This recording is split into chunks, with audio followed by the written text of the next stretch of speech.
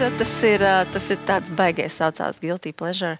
Uh, nu, reizēm jau, jā, tāpēc, ka mūsu mājās mēs daudz pasūtam, mīram garšo, un tad es, nu, tur var gabaliņu bišķīt no tevis. Nu, tas tā kā, it kā jau tu neēd, bet, nu, tu gabaliņu no Bet ko tu ēdi, nu tā kā formāli, ko ēdi tu, kad vīrs pasūta picu? Nu, salāti, zupas, uh, Tad tu to pasūti, ja tu gatavo salātu zupas. Vīrs saka, vai mīļā, cik brīnišķīgi atkal zupa, kā es priecājos un piezvanu. Jā, mums jā, šajā ziņā pilnīgi dažādi virzieni.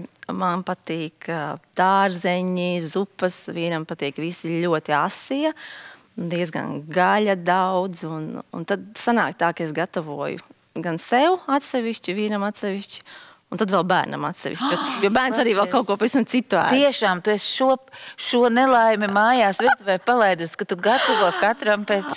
Nu, Nu, jā. es tev mājas restorāns. Katrs pasūta, ko grib. Nu, jā, piemēram, šorīt no rīta cēlos, es, es gatavoju, atstāju bērnam, tur, tur ir tas, tur dārzenīši sautē, tad ir pankūciņas no rīta, un tad tur tā. Visu šovu skaties STV pirmā un šortkat films.